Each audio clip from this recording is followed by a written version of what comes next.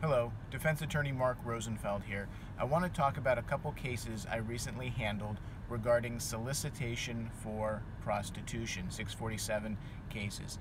These are both Los Angeles Police Department cases where the LAPD set up sting operations, and my clients, both young men, were driving and contacted women that were on the street, on the sidewalk, and asked them for services. In one of them, there were some additional issues that came up as far as potential bribery charges.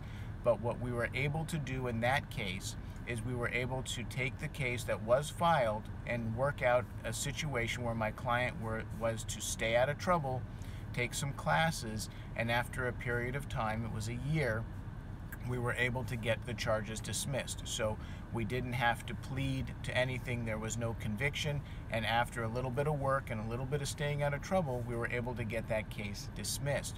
The other case, very similar situation with a sting operation where my client was in fact arrested for solicitation, but we were able to contact the prosecutor's office ahead of time show them where there were issues in the case and got the case rejected, where no charges were filed and thus no criminal action at all.